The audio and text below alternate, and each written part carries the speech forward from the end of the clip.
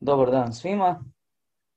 U današnjoj ćemo lekciji učiti o brojevima i brojevnim imenicama. Koristit ćemo uh, udžbenik Učimo hrvatski jezik autorice Snježane Gabelić. Prvo, što su brojevi? To su dijelom promjenjiva vrsta riječi kojom se izriče koliko čega ima i koje je što po redu. Glavnim brojevima se izriče koliko čega ima, a rednim koje je što po redu.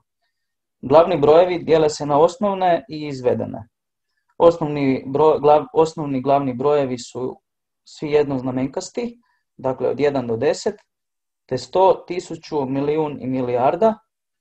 Njihovom kombinacijom devijaju se svi ostali brojevi koje zovemo izvedenim, dakle na primjer 31, 111.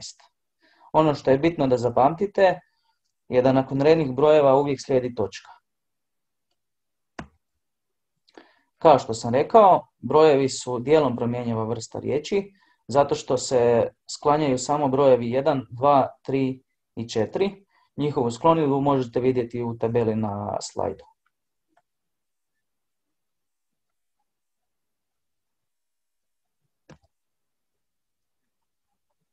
Brojevne imenice, to su imenice koje imaju značenje brojeva, Dakle, brojevnim imenicama se imenuju bića te se označava njihov broj, na primjer dvojica, trojca, četvero, petero. Brojevne imenice tvore se od glavnih brojeva od 2 do 99, te nastavcima, odnosno sufiksima za muški rod ica, te oro ili ero za srednji rod. Na primjer, njih sedmorica, njih petero, njih dvoje i njih troje brojevnim imenicama koje završavaju na oro i ero, te dvoje i troje, se ujedno označavaju i muškarci i žene.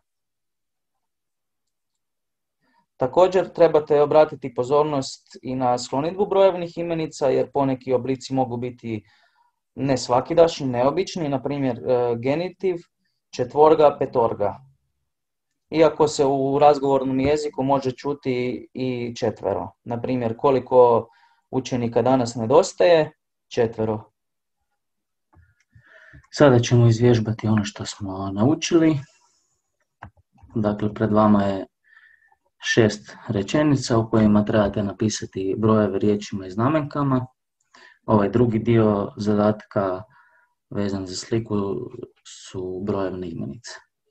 Pa eto, uzmite si koji trenutak da razmislite, zadaci nisu tako teški, pa ćemo provjeriti.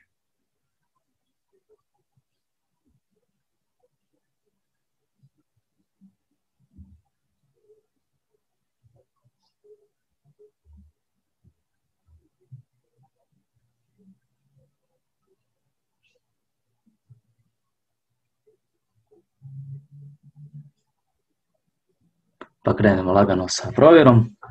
Dakle, prvi dan ljeta je 21.6. ili 21.6. Dakle, ljeto počinje 21.6. ili 21.6. Obavezno uz redne brojeve se piše točka, dakle u zagradi vidite kako to treba izgledati. 21.12. je prvi dan zime. Obratite pozornost isto tako na tu točku. Katolici Božić slave 25.12. Ovaj sam poklon kupio jednoj lijepoj djevojci koja mi se sviđa.